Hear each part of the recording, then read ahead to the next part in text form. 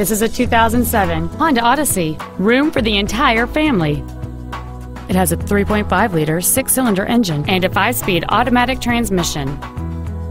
Its top features include a sunroof, heated seats, leather seats, a navigation system, cruise control, XM satellite radio, a low tire pressure indicator, traction control and stability control systems, and this vehicle has fewer than 65,000 miles on the odometer. Not to mention that this Honda qualifies for the Carfax buyback guarantee. Call or visit us right now and arrange your test drive today. It's easier at Honda of Decatur. Saving service and satisfaction. Complimentary coffee, Wi-Fi, and car washes. Schedule your test drive today. Honda of Decatur. On the Beltline, it's easier here.